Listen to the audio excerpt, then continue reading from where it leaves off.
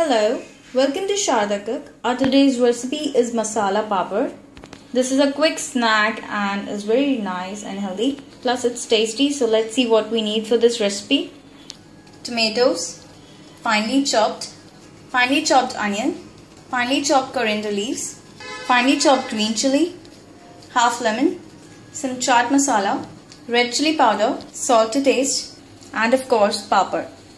So we'll start with the preparation for that. Firstly, we're going to heat the oil. Make sure the oil is very hot. So now we'll start frying the papad.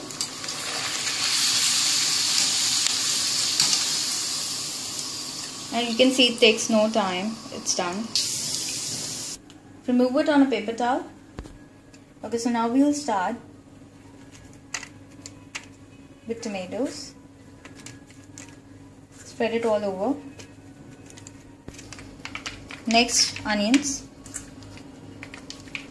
Next, we're going to sprinkle some salt, red chili powder, green chilies.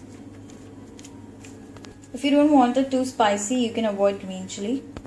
Then, chaat masala, coriander leaves, and lastly, squeeze lemon gives a nice fresh flavor. So there you go, your masala papad is ready. And you can see it's so easy and so quick to make. Make it a part of your snacking. If you like this video, do thumbs up and subscribe. Thank you so much for watching. Bye-bye.